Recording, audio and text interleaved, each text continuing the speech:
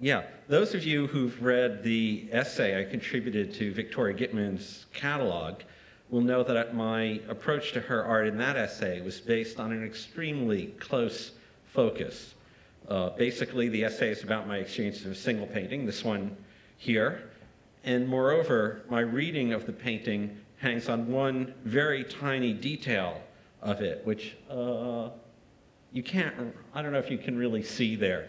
Um, a very tiny uh, detail of it, namely the rendering of the clasp of the purse, which if you look closely enough, and enough in this case means very closely indeed, uh, functions as a convex mirror in which what must be the reflection of the painter occurs as a sort of pinprick of color. Um, so yeah, if you look up at the one on the left, you maybe can see that there's a little dot there. And so that dot has to be the, uh, the self-portrait of uh, Victoria Gitman. Uh, well, Gitman's art lends itself to very close and very long looking. You won't find very many painters today who render the surfaces of things seen in such fine detail. And among those few, there are many fewer many fewer still who manage to do so while also rendering the mercurial life of the eye that grazes, if that's the right word, among this infinitesimal visual abundance of things. With most painters, such intense detail becomes hard, glassy, lifeless, airless. Not so in Gitman's case. Her paintings breathe at every level. So, in thinking about how to talk about Gitman's work today without repeating myself, I thought I'd better stay away from that kind of close focus. In fact, it occurred to me to do the opposite to pull the camera back and take in the widest possible view. As in a movie where one suddenly sees the protagonist from above in a kind of God's eye view as a tiny figure in a vast landscape. Or maybe another way to describe it would be to say that I intend to approach Gitman's work slowly, in the manner of one of those old-fashioned novelists who spend hundreds of pages acquainting the reader with the protagonist's ancestry and perhaps even with the geohistorical development of the landscape in which the protagonist will live and act before our hero is even born. I seem to remember that Thomas Wolfe's The Homeward Angel was something like that.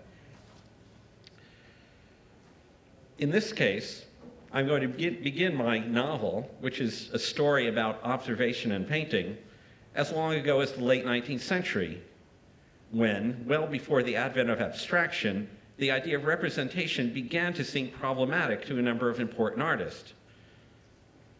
Through most of the 19th century, it was impossible to imagine painting without a model taken from the empirical world, a motif, no matter how wildly the model might be transformed in the process.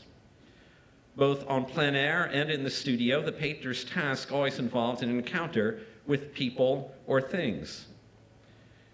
This was an art founded in, represent, in observation. But the encounter could be transformative.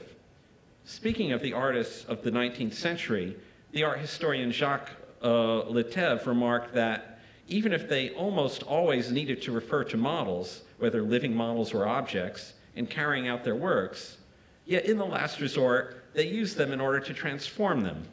They might turn a poor girl hired for five francs an hour into a queen of the East, or immortalize a basket of flowers or a pewter jug.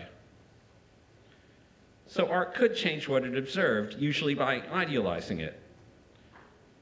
Sometimes, if the narrator of Marcel Proust's In Search of Lost Time is to be believed, the metamorphosis could go in the reverse direction, not ennobling the source, but rendering it more quotidian. Uh, and here's a, a quote from, from his great novel. In this connection, a cousin of the Princess of Luxembourg, a woman of great beauty and arrogance, having taken a fancy to a form of art that was new at the time, commissioned a portrait of herself from the most prominent of the painters of the naturalist school. The artist's eye had instantly detected what it saw everywhere. On the completed canvas, instead of the grand lady, there was the dressmaker's errand girl. In his story, The Real Thing, Henry James tells the ironic tale of an artist who hires a couple of down on their luck aristocrats to pose for illustrations for a story of high, high society, only to discover their stubborn inability to transform even into their own likenesses, their incapacity to represent, even if just to represent their own kind, proving what James's narrator called the perverse and cruel law in virtue of which the real thing could be so much less precious than the unreal. Although James is not normally associated with the literary and artistic movement commonly known as symbolism, his narrator's preference for the unreal over the real reminds us that James was at least a contemporary of the symbolists and breathed something of the same atmosphere. In 1888, about four years before the publication of The Real Thing, Paul Gauguin, whose self-portrait you see here, gave one of his correspondents his own view on the superiority of the unreal over the real. He offered a piece of advice. Don't copy too closely from nature. Art is an abstraction. Bring it forth from nature by dreaming before her. No realist, no impressionist would ever have said such a thing. This was a new turn in the history of pictorial representation as it developed in the European 19th century. As the Swiss art historian Dario Gamboni explains in a fascinating new book on the artist, Gauguin's criticism of mimetic naturalism established an ambivalent relationship between the natural prototype a relation forged in equal parts of presence and absence, of proximity and distance. I might also add that it partakes equally of perception and imperception, since to dream before nature, as Gauguin demands, seems to imply the closed and sightless eye of the sleeper, even though the stimulus of nature is somehow still there. It's as if the artist's closed or at least lowered eyelids were not opaque, but served to filter out the aspects of reality irrelevant to his art. Gamboni points to a passage from Edgar Allan Poe that Gauguin transcribed into one of his writings. Poe wrote, We can at any time double the true beauty of an actual landscape by half closing our eyes as we look at it. The naked senses sometimes see too little, but then always they see too much. Again, artistic vision, as opposed to its everyday cognate, is conceived of as a filter. Elsewhere, Gauguin refers lyrically and synesthetically to a listening eye, as though the organ of sight had other senses to feed than the one it is most obviously associated with. Abstraction, as Gauguin uses the term, is different from what it came to mean in the 20th century. It does not sever the relation with the object, with the model, with perceived nature, but distances it, filters it, and, I hope I am allowed to invent this word, synesthetizes it. Gamboni points out that in Gauguin's 1886 still life with Laval's portrait, the head, which is decontextualized by being cut off at the painting's edge, is hard to reconcile spatially with the still life, and it, it at once does and does not seem to represent the act of perceiving it. Though Laval's head is turned toward the uh, toward the case, his, his, toward the vase, uh, Gamboni writes, his eyes are closed and he seems to meditate rather than gaze. Similarly, in the Yellow Christ of 1889, the peasant women neither gaze at their Savior nor do they even have a vision of him.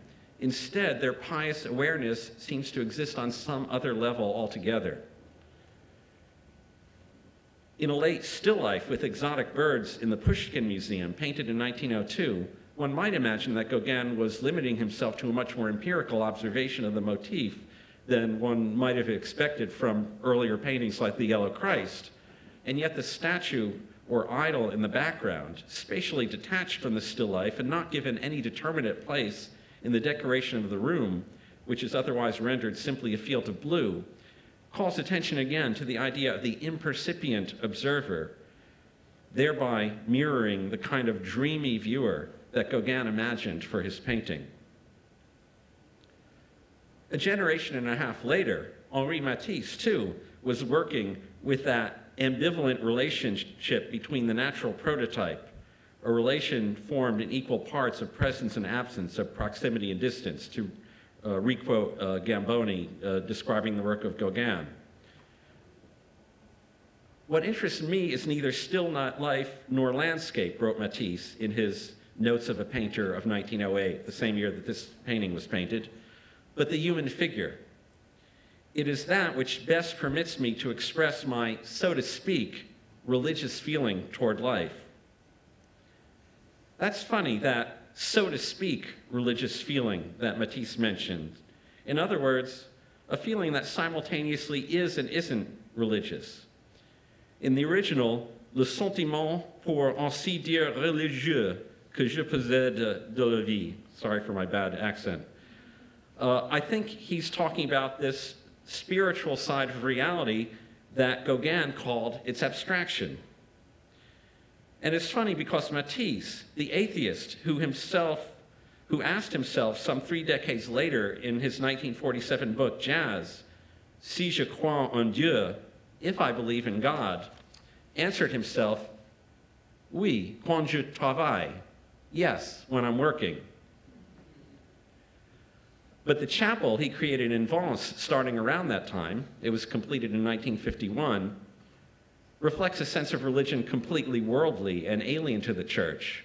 It wasn't an entirely a joke when Matisse's friend, the communist poet and novelist Louis Aragon, responded, Very pretty, very gay. In fact, when we take over, we'll turn it into a dance hall. Jack Flam conveys the painter's reply Oh, no, you won't. I've already taken precautions. I have a formal agreement with the town of Vence that if the nuns are expropriated, the chapel will become a museum, a monument historique. So was Matisse uh, the devotee of a religion of art? Maybe. But it's hard to credit him when he depicts himself in the text for jazz as submissive and modest, his words, before nature. In 1908, he had declared his neutrality in the conflict between painting from nature and painting from the imagination. For him, a certain sort of illusion or self deception is necessary to the artist. An artist must recognize when he is reasoning, Matisse wrote, that his picture is an artifice. But when he is painting, he should feel that he has copied nature. And even when he departs from nature, he must do it with the conviction that it is only to interpret her more strongly. And at the end of Matisse's life in 1954, he was still insisting that the essential expression of a work depends almost entirely on the projection of the feeling of the artist in relation to his model, rather than the organic exactitude of the model. And of course, in his late cutouts, the relationship to the model had become very tenuous.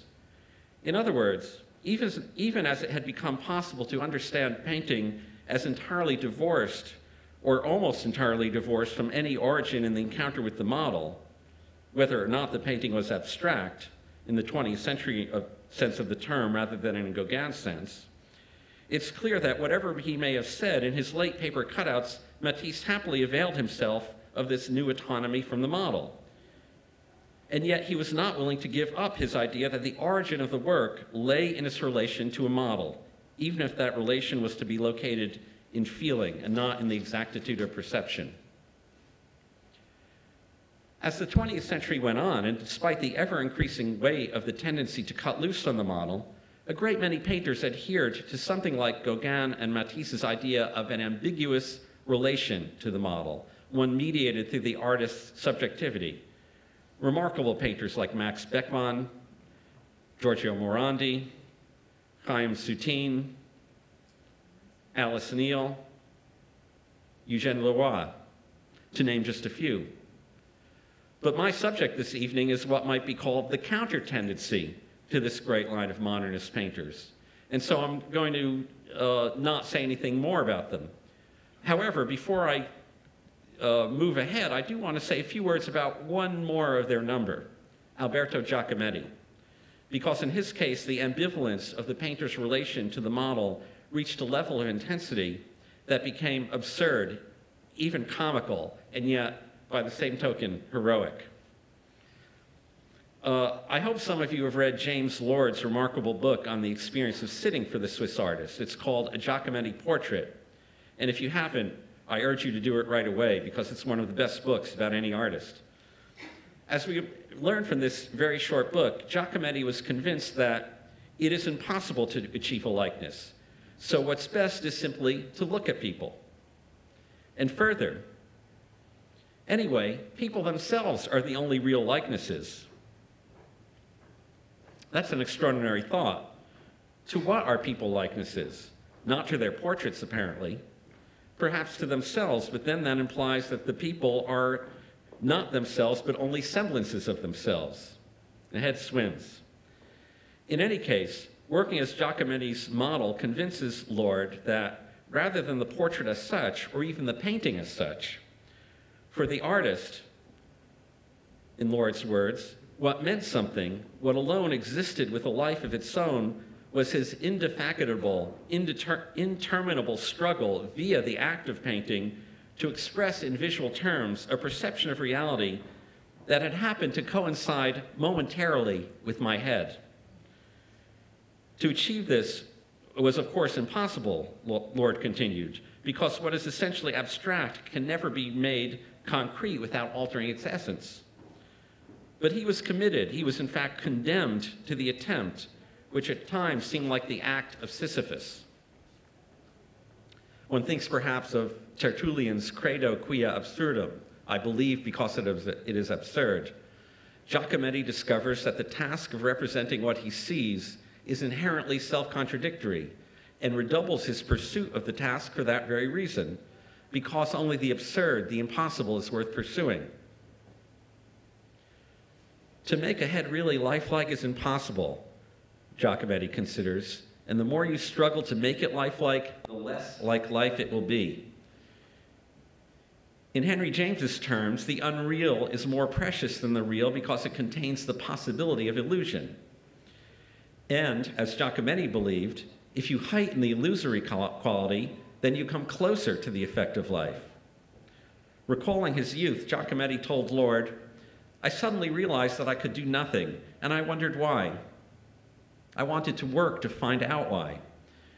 That's what kept me working ever since. Moreover, the desire to find out why I can't simply reproduce what I see. So the point of his efforts was not really to succeed in representing something, but to succeed in comprehending to the full his inability to represent. Giacometti might have been the most radical in his self doubt in his quest to make an art out of the impossibility of representation, but he was hardly the only one. And of course, not all of those felt the urgency of this uh, impossibility, experienced it through the representation of the model as he did. The American abstract expressionists, too, understood this, this feeling, even though when they painted figurative, figuratively or quasi figuratively, as Willem de Kooning sometimes did, or even Jackson Pollock. And uh, this painting, uh, the title of this painting, A Portrait in a Dream, uh, recalls exactly Gauguin's uh, duality between uh, the representation of nature and dreaming in front of it. But in any case, with these kind of painters, it was by way of memory and imagination and not direct perception. That was the 1950s. But by the next decade, doubt had started, somehow started to seem less interesting to new artists. Doubt had come to seem a mannerism. Impossibility had become an alibi. Pop artists, minimalists, and conceptual artists, among others, followed a different path. As Sol LeWitt wrote in his Sentences on Conceptual Art in 1969, irrational thoughts should be followed absolutely and logically, and therefore, if the artist changes his mind midway through the execution of the piece, he compromises the result and repeats past results. Furthermore, LeWitt continued, once the idea of the piece is established in the artist's mind and the final form is decided, the process is carried out blindly, and the process is mechanical and should not be tampered with. It should run its course. These are ideas that would have been rejected out of hand by Gauguin and Matisse, by Giacometti, or by Pollock and de Kooning. But they were ideas that were right for LeWitt's time because art was coming to know impossibility too well. making the gap between thought and expression, I borrow the phrase from Lou Reed, a place of indulgence. And the minimalists, pop artists, and conceptualists were hardly the only ones who felt this way. In the early 1960s, there also arose a number of representational painters who aimed to eliminate from their work the ambiguity and doubt that had been common to figurative painting and also to much abstraction for more than half a century. They were looking for a way to give this kind of painting a process that, like LeWitt's conceptualism, would involve a mechanical process not to be tampered with. Many of them became known as photorealists, but a few of them determined to work without recourse to photography and directly in front of the model. Probably the most interesting of these was Philip Pearlstein. His often very strange paintings attempt to account for everything that is empirically observable in a scene he sets up in his studio, which you might say functions like a laboratory where this experiment can take place without hindrance, and to consciously admit nothing that is not empirically observable. Just the facts, ma'am. From Giacometti to Pearlstein is a long way, and yet the difficulties they face as painters in dealing with what is in front of their eyes turn out to be rather similar. Pearlstein once put it like this when I decided to become a realist painter, I determined that every mark I put down on the canvas would come from my actual visual experience. And I soon learned the technical difficulties of trying to make each mark be a metaphor for the light on the forms, textures, and space in front of me. I found that the greatest difficulty lay in getting those metaphors of forms to break the picture plane, to get the forms to look as though they existed with measurable distance from each other with a sense of air around them. When I stare at the scene I am painting, the distance between the forms assumes a kind of profundity, and it seems very important to capture them accurately. These spatial relationships seem to characterize the basic life experience of potential movement. I suggest that it is the honesty of the attempt to recreate the forms and spaces visually without artistic editing that is one of the hallmarks of realist painting. That uh, artistic editing he talks about is, is everything that, uh, that LeWitt, in his own way, also wanted to eliminate from his art.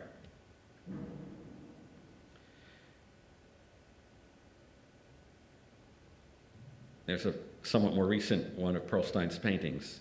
In general, He's best known for figure paintings, portraits at times, but most especially these setups, sometimes extremely elaborate, with anonymous models, who are in fact referred to in the painting's titles simply as model or models. Modeling is a form of work.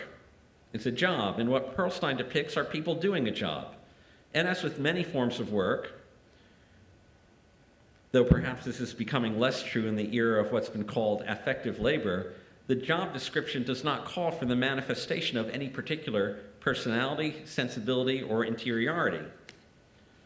But concomitantly, Pearlstein paints like a man doing the, a job, and equally without evidencing his personality, sensibility, or interiority, at least not directly. That's what's so impressive about his work. It's cool stare. There's something about his unflattering way of inscribing the flesh of his subjects that can remind you of the gaze embodied in the photographs of his almost exact contemporary, Richard Avedon. But unlike Pearlstein, Avedon isn't really cool. He's cold. By which I mean that his gaze is penetrating. He can be aggressive toward his subjects. Unlike Pearlstein, he is observing them socially, morally, politically, or at least trying to.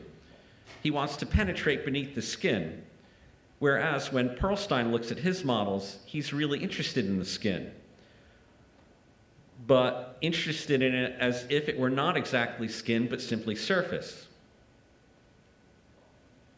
A generation younger than Pearlstein, who's now 90 years old, the British-born painter Rackstraw Downes has, since the 1970s, been making meticulously painted, essentially documentary renderings of the American landscape and generally not the prettiest parts of it. This is the industrialized landscape, the worked landscape, sometimes desolate. Like Pearlstein, Downes paints exclusively in the presence of his subject matter. However, the paintings clearly emphasize that the scene they depict can never have been seen all at once in this manner. Their extreme horizontal formats mean that the painting always presents simultaneously things that could never have been seen simultaneously. This is the paradox of representation that seems to fascinate Downes. The fact that our mental synthesis of our visual impressions makes a picture out of sense data that could never have been registered all at once. Since our eyes, our head, our body are all constantly in motion as we take in the view of the landscape and scan the horizon. The picture is a fiction that shows something that could never have been seen otherwise. And it is this artifice that he wants to make apparent. There is always a sense of distortion, subtle or sometimes not so subtle, to his paintings, not unlike Pearlstein in that. And yet, paradoxically, for all the intricacy of the artifice that he constructs, there's a kind of plainness to how he constructs it. That is, to, to the way that he puts down the paint to show what he depicts. Downes once said that technique is a skill that you learn so you don't have to respond to what you're looking at, so you don't have to be inquisitive about it. I can imagine Giacometti nodding in agreement with this indictment of technique. And yet, of course, I don't have to tell you uh, that in fact there's plenty of technique in Downes's paintings, but he's always putting a damper on it in order to try to keep his responses fresh and full of questions about what he's looking at, rather than just solutions to the question of how to render it. There have been other painters working from direct empirical observation, uh, obviously, besides Pearlstein and Downes, of course. Um, but for me, at least, until recently, those two have been pretty much the only ones whose work uh, I found really interesting in the long run. There may be others, but I don't know them. I know, for instance, that there's a group of realist painters in Madrid that some people think highly of. Uh, their chef d'école is uh, Antonio Lopez Garcia, who, like Downes, is now in his 70s, but I haven't seen enough of Lopez's work to judge it properly, and what I have seen has left me somewhat skeptical. And so these couple of uh, interesting realists, these devotees of observational painting, have seemed to me to be very much isolated figures, somewhat outside of the mainstream of painting.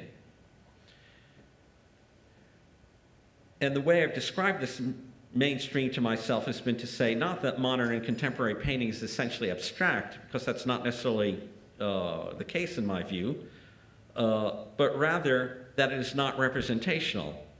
The way I've put it to myself is that modern painting renders an image rather than a representation. What do I mean by this distinction between representation and image? It's not actually my invention, that distinction, but something I found in Pierre Schneider's great book on, on Matisse, where he says, Representation looks back to something, recalls a model. An image invents a presence. He also says, to construct through color is to make an image. To destroy through color is to undo representation. Schneider, in turn, attributes his special sense of the word image to Kandinsky, who used it in this way in describing the art of Cezanne, but who added, the same intention actuates the work of one of the greatest of the young Frenchmen, Henri Matisse. He paints images, and the images endeavor to reproduce the divine. So, following Schneider, following Kandinsky, when I say representation, I'm talking about something intended to reconstruct the appearance of a model. And when I say image, I'm talking about something that uh, attempts that uh, attenuates the connection to the model. For Gauguin, for Matisse, for Giacometti, it seemed possible to start from the model and rather than representing it, to produce an image that would have a comparable impact. Matisse once explained, the driving force that leads me through the execution of a portrait depends on the initial shock of contemplating a face. One might say that the image conveys the shock rather than the face. For painters who paint from memory and imagination and forego the model altogether, not to mention those who paint abstractly, the disproportion between model and image that so perturbed Giacometti uh, or Pearlstein is, of course, no longer an issue. But the significant 20th century painters who continued to want to make representation rather than images, as I've said, have been, in my view, rather few. I've named a couple of them, and undoubtedly there are others. Some people might cite Balthus, though I'm not really so sure. I suspect he may have been uh, more like Matisse, more a painter of images disguised as a painter of representations.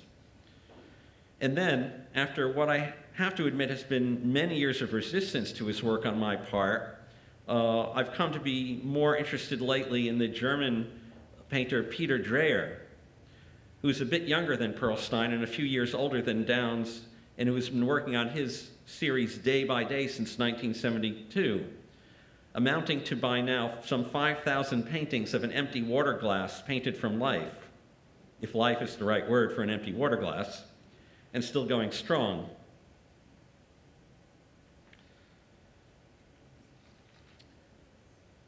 All the more reason, then, that I've been surprised to notice in recent years, in the new millennium, the emergence of several striking young talents whose project is representation from the directly observed object. You probably won't be surprised to hear that among them is Victoria Gitman, whose work you've presumably already seen in the amazing show of hers uh, here at the Pérez Museum. But she's not the only one. And it's interesting, although I don't have any particular explanation for this, that many of them, unlike the artists I've had occasion to mention so far, are women. This evening I want to talk about two, two of them, Ellen Altfest and Josephine Halvorson, along with Gitman. Altfest seems to alternate between being a studio painter like Pearlstein and a plein air painter like Downes. Her first New York show in 2002 was called Rocks and Trees, and the works in it were all painted outdoors. While her second show, Still Lifes, in 2005, featured natural objects that had been brought into the studio space, nature brought into the space of artifice. Subsequent, subsequently, she also introduced the human figure into her re repertoire of studio motifs. Always, so far at least, the male nude. Now, since I've uh, already compared Altfest to both Pearlstein and Downes, I have to point out that at least in one respect, her paintings are very different from theirs. Think back to Downes's landscapes with their almost impossibly panoramic views, which seem to take in a wider context than natural human vision could ever encompass. They're not just landscapes, they're mega or meta landscapes. You, if you switch from that to one of Altfest's outdoor paintings, well, you realize that although we don't have any other traditional term than landscape for what she's painting here, in reality, such a painting hardly fits into the um, usual definition of landscape, and even etymologically, it departs from the sense of the word, which, according to one etymological dictionary, uh, goes back to circa 1600, painting representing natural scenery, from Dutch Landschaft, from Middle Dutch Landskap, region, from land plus skap, condition. Originally introduced as a painter's term, Old English had cognate landscape and compare similarly formed Old High German Landskap, German Landschaft, Old Nordic Landskaper, meaning tract of land with its distinguishing meaning tract of land with its distinguishing characteristics is from 1886. So if the scape part of landscape re refers to the condition or distinguishing characteristics of the land, well, Altfest leaves out the scape. She edits out the context to an almost ruthless degree, showing us not place, not even really the objects of nature, animate or inanimate, uh, but their texture, their surfaces, one almost might say their matter. As Downes shows us the world in an almost impossibly extensive way, Altfest shows us the world in an almost impossibly microscopic manner. And while you wouldn't say that Pearlstein ever seeks the breadth of view that Downes conjures in his paintings, and one is always aware in Pearlstein's work of the enclosing plane of the studio, the walls, the floor that box in the room's temporary inhabitants, placing them in a sealed off quasi laboratory environment, Still, that sealed off environment is an environment, and the, and, and the viewer is always aware of its human inhabitants as being in relation to it and to each other. In Altfest figure paintings, the situation is quite different. One never sees a full, full view of a body, and it can barely be said that one even sees a whole body part. Although, in contrast to Pearlstein's recurrent use of the word model in his title, she always names these paintings after body parts torso, the leg, arm, and side, and so on. Where are they, and whose are they? We're not shown. With some of Altfest Studio still lifes, we glimpse just enough of the studio environment, just enough and no more, to experience a sense of irony in the fact that a natural object has been conveyed here where it does not belong. That is, in the fact that it has been decontextualized. A good example would be the 2005 painting Tumbleweed. Although it is much more than that, I can also see this painting as a kind of joke about the relation between this kind of close focus, texture, texturally oriented realism and a certain kind of abstract painting that might otherwise seem its polar opposite. Here's my favorite Jackson Pollock painting, uh, Lucifer, from his uh, his breakthrough poured painting from 1947, and I hope you can see the connection. Even the way that Pollock mostly kept his intricately messed gestures within the canvas is echoed by the way that Altfest Tumbleweed sits inside the rectangle. Like Downes as well, Josephine Halvorson paints her subject on site rather than, as Altfest sometimes does, bringing them into her studio. But like Altfest, she paints things from close up, often from a distance of about arm's length. And therefore, her very process edits out any view of the thing's larger context. And yet, there is a sense of atmosphere to these paintings that alludes to the context without defining it. Halvorson, whose first important shows took place in New York in, 19, in 2009, once told an interviewer, I make better art when I have to yield to the often unpredictable conditions that painting on site presents I've come to think of my practice as a collaboration between me, my materials, and the world, where the painting becomes a testament to time spent together. So it's not so much a thing as the conditions in which the thing is encountered that become the painting's subject. And Halvorson's sense of yielding to the conditions in which a thing is found is the opposite of Pearlstein's laboratory-like control over the studio environment. Her idea that the painting is a testament to time a beautifully resonant phrase, is especially important because I think that for all the painters I've discussed this evening, with the possible exception of Gauguin, but certainly for all of them from Matisse onward, one of the great problems of pictorial representation is the problem of time. Specifically, the problem of the seemingly trivial and self-evident fact that it takes far more time to paint a painting, to construct an image or a representation, than it does to see it and to recognize it and enjoy it. As viewers, we can take a painting in in a moment. We see it as a painting, and we see what it is a painting of in a kind of all at once way, even though, of course, we can also spend a great deal of time appreciating it, its depth, and its nuances. And since we can take it in in a moment, it is natural to imagine that the painting represents a moment. And indeed, this was the fiction that was cultivated by classical European representation, that the painting could represent, for instance, the very moment in which St. Matthew experienced his calling, or the very moment in which Icarus tumbled into the sea, or the very moment in which Jean Paul Marat expired in his bathtub, having just been stabbed to death by Charlotte Corday. And the same kind of fiction was still cultivated by the Impressionists when they endeavored to depict a given landscape at a specific time of day in specific weather conditions. Maybe Halvorson is not so far from the Impressionists. There is a self-consistency to her representations in the way they register time and what she calls conditions. Simply put, even though her atmospheric but unshowy workmanlike facture seems to to slow down the act of viewing and invite the viewer to give time back to the painting, one never feels that the prevailing conditions are different in one part of the painting than another. She, does, she doesn't reel the changes of mind and changes of viewpoint in the flow of time that a Matisse or a Giacometti allow for, nor the multiplicity of viewpoints assumed by a, a painter like Downes, nor even the intensely persistent quality of Altfest's markmaking, which has its own way of seeming to count time. How long does Halvorson work on a painting? My understanding is though that although there may be a good deal of preparation involved, she tries to paint a painting in a single session. This is something she has in common with painters as different as Alex Katz or Luc Tuymans. But a single session can be a long time, all day, or in any case, still much longer than the time anyone but the painter herself is likely to spend with the piece at a single viewing. In fact, Halvorson has mentioned putting in a 20-hour day on one painting. And so there's a time pressure involved in such a modus operandi. It calls for stamina, so even in a one session painting, a sense of time conditions the way it is made and the way it appears.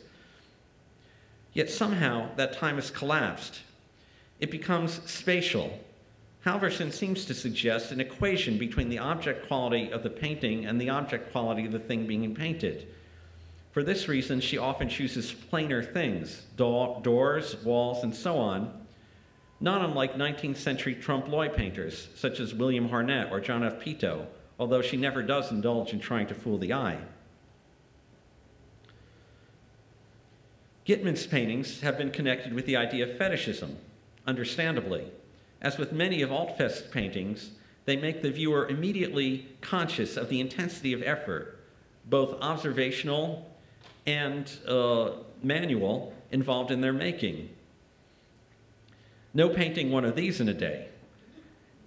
And they have often been linked to the trompe l'oeil tradition, perhaps less aptly than in uh, Halvorson's case, since they have a way of undermining their own illusions.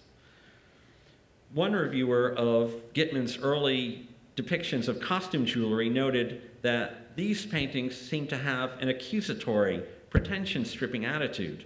We know that the diamonds, amethysts, and silver of the bracelets and the chokers are really glass, plastic, and stainless steel, Set against the implacably sober earth tone backgrounds, the fake jewelry projected the deadpan defiance characteristic of mugshots.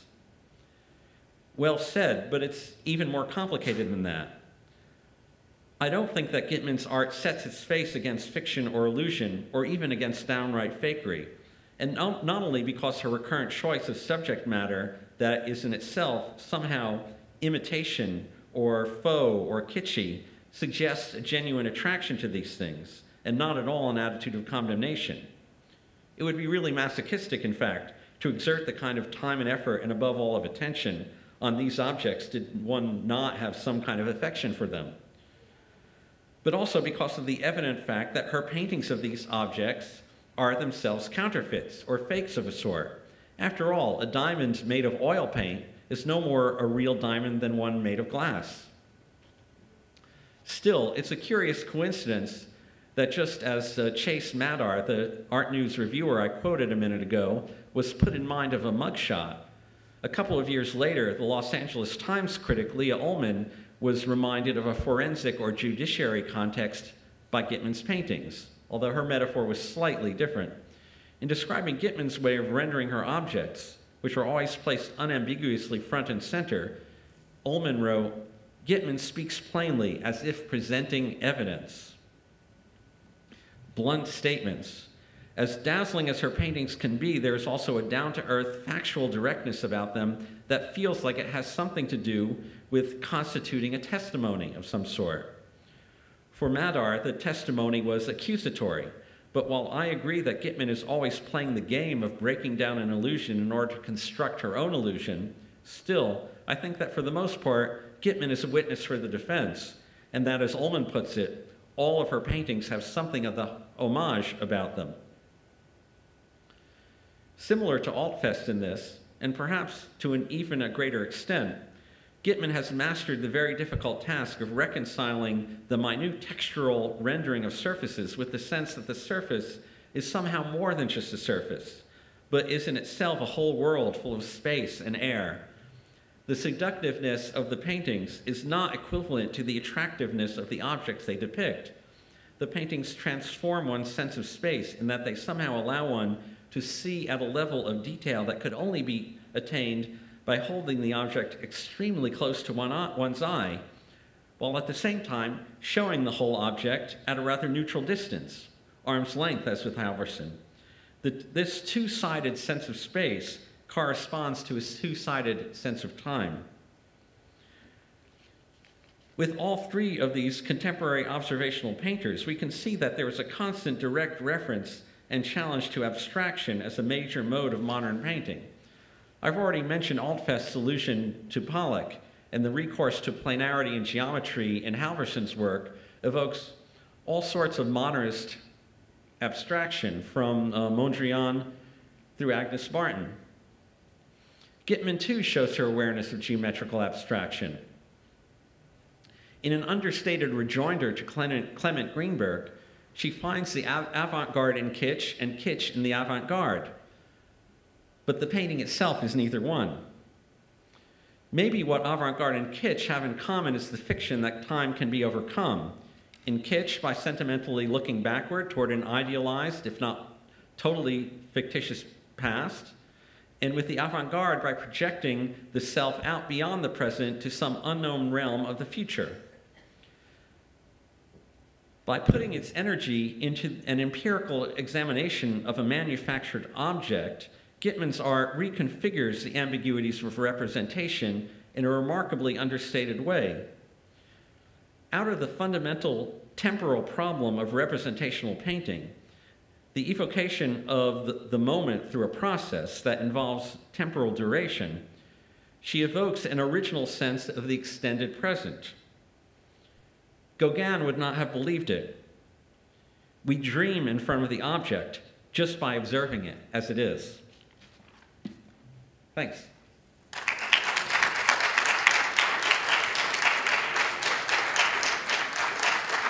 Do, do, do, we do uh, questions here? Okay, uh, we do questions here. Uh-oh.